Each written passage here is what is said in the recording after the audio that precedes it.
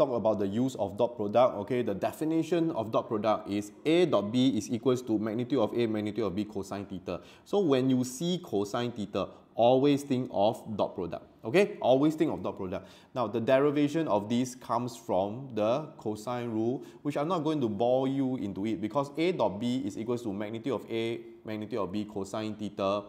It's an easy concept to remember, okay? The derivation comes from the cosine rule, okay, but I'm not going to bore you with it, all right? If you want it, I'm going to do it in another video, okay? So if I make cosine theta the subject, then cosine theta is equals to A dot B over the magnitude of A and magnitude of B. Now, if you put it in a more serious form, what is A over magnitude of A and B over magnitude of B? All these are just A hat, which is a unit vector of A, and B hat, a unit vector of B. If you cannot remember what is unit vector, please go to the second video in front, okay, to understand it. Now, when we want to find the angle, the two vectors must be either pointing away or pointing together, okay? So these are actually just displacement of vectors. So if you have if you want to find the obtuse angle, then you have to find the acute angle, then minus 360 minus off, then you can get the okay obtuse angle. And for this, why is this wrong? Because again, vectors can be displaced, right? When we do this, A is actually looking like this. We are actually looking getting the angle here, and we are unable to get the angle here. So be careful. Remember, the two angle, the two vectors must be either pointing in the same direction or pointing away. Okay.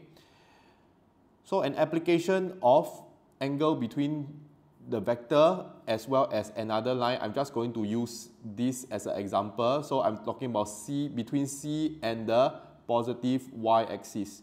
Okay, so again, like I remember I told you that x, y, z now is in a different form. Okay, x is in this direction, y is in this direction, and z is always pointing upwards. But like I say, this is not really important for you. So when something is on the y-axis, it just means that x equals to 0, z equals to 0.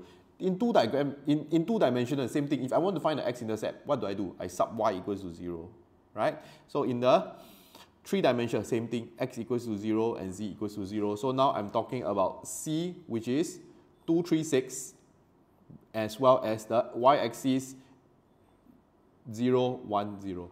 Okay, I just need to apply it. So if you cannot remember how to apply it, or let's write down, okay, A dot B is equals to magnitude of A, magnitude of B, cosine theta. Okay, put this in, 236 dot 010 is equals to the magnitude of 2 square plus 3 square plus 6 square. And the mag and a y-axis is a unit vector actually. So this guy is just 1. The magnitude of B is just 1. Or you can just square root of 0 square plus 1 square plus 0 square, you will still get 1. Okay, cosine theta. And now work this out. x times x, 2 plus 3 plus 0, 2 plus 3. So this is 5 is equals to square root of 4 plus 9 plus 36. Uh, and that will actually give you 49. Cosine theta is equals to 5 over square root 49, 7 and you can just immediately find out theta by using your calculator and doing an inverse cosine 5 over 7 and you can get the answer. Okay, even if the answer is a negative, right, you still can cosine inverse. When you cosine inverse, when you cosine inverse a negative value, you are just going to get an obtuse angle. Okay, I'm not going to talk about too much technicality about this. Okay, yeah, when you, you can cosine inverse, you still can cosine inverse a negative value in this case, and you will still get a you will get a obtuse angle. Okay, and a result of angle between two vectors is if you see a dot b equals to 0, okay? If you see a dot b equals to 0 and a, first, a